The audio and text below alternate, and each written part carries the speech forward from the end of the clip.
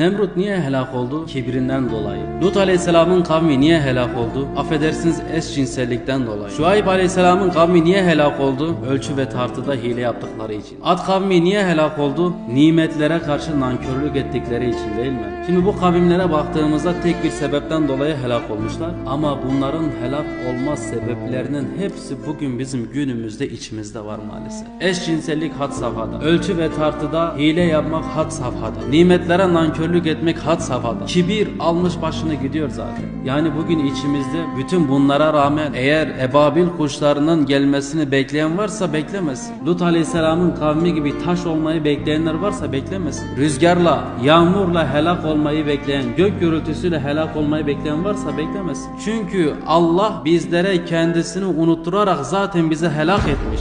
Bugün ticaretimizde Allah'ı hatırlamıyoruz. Bugün evliliklerimizde Allah'ı hatırlamıyoruz. Bugün düğünlerimizde Allah'ı hatırlamıyoruz. Hatta en acısı bugün cenazelerde dahi hocanın okuduğu Kur'an-ı Kerim'de Allah'ı dinlemiyoruz ve dolayısıyla hatırlamıyoruz. Allah muhafaza Allah'ın olmadığı bir hayatı yaşar hale geldik. E bu bir helak değil midir? Helakların en büyüğü.